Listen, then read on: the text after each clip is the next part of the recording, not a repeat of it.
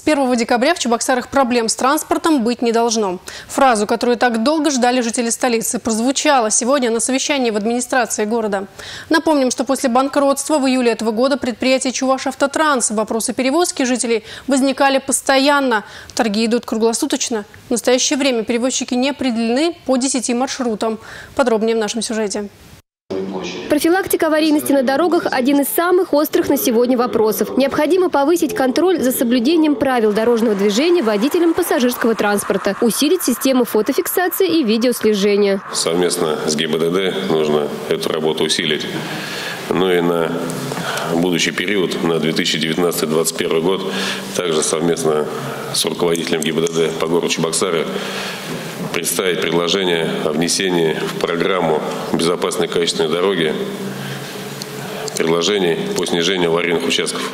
Еще один вопрос, который стоит достаточно остро – перевозка пассажиров. На данный момент функционирует 57 муниципальных маршрутов регулярных перевозок, 17 троллейбусных и 40 автобусных. Но несмотря на принимаемые меры, проблемы еще есть.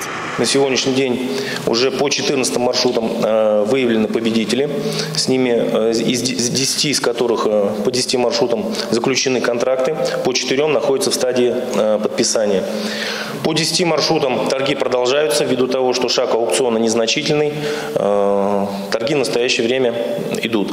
К 20 ноября должен быть сформирован весь парк автобусов, который заработает в полную силу с 1 декабря 2018 года, отметил Алексей Латыков.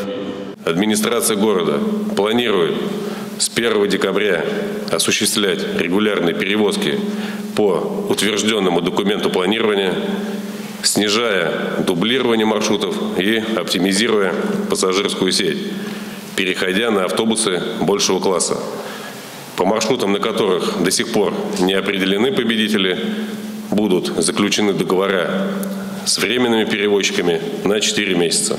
Готовятся городские службы и к зимнему сезону, который начнется с 1 ноября. Подготовка идет в плановом режиме, отметили на горпланерке. Заготовлены противогололедные материалы, инвентарь и спецодежда. Ремонтируется уборочная техника. Ольга Алексеева, Игорь Зверев, Республика.